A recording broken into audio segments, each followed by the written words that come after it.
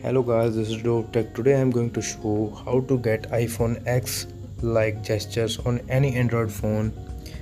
First, go to the Play Store and click on search and type Edge Gestures.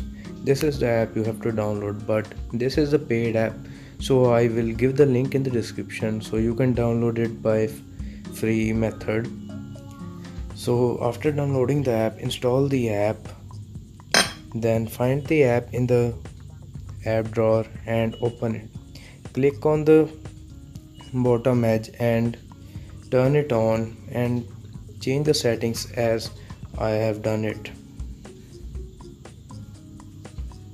You can see it. You can also customize by yourself.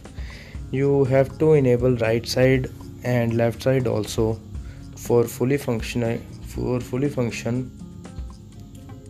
So after that you have to download the app and install the app on Samsung device. I will give the link that will help you to hide the navigation bar permanently and you have to enable left and right gestures also because in keyboard app you will not be able to use the bottom gestures.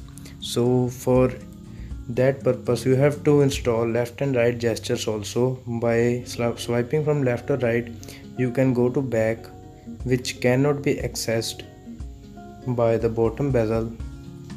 So this was the video guys. This will help you to get iphone x like gestures on any android phone so you can see that these gestures are working perfectly with my phone and you have to install the app for hiding the nav bar.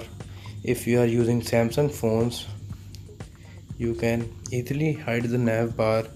So this was it guys. Thanks for watching. Like share and subscribe the video if you liked it. Peace